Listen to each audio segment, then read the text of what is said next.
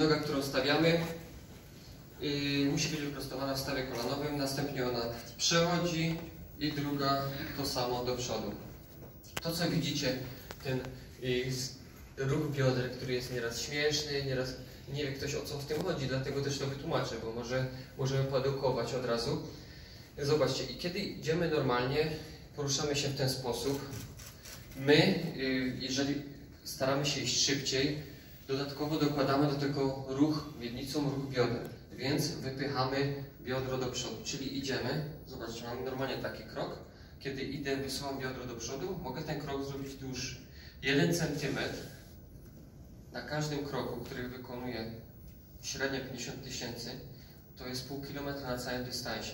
1 cm, czyli taki mały szczegół, teoretycznie nic. Ten mały ruch biodra, który wykonuję, pozwala mi przesunąć się o 2,5 minuty, 2 minuty przed rywali.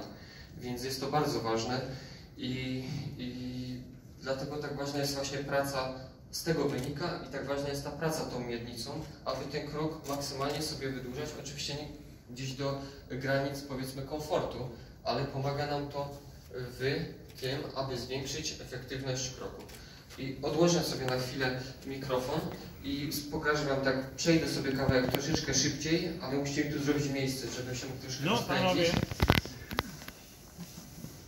Nie, Żebyś tylko wyhamował.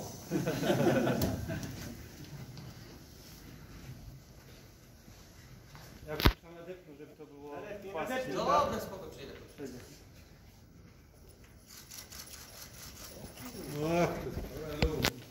I tak przez 50 km.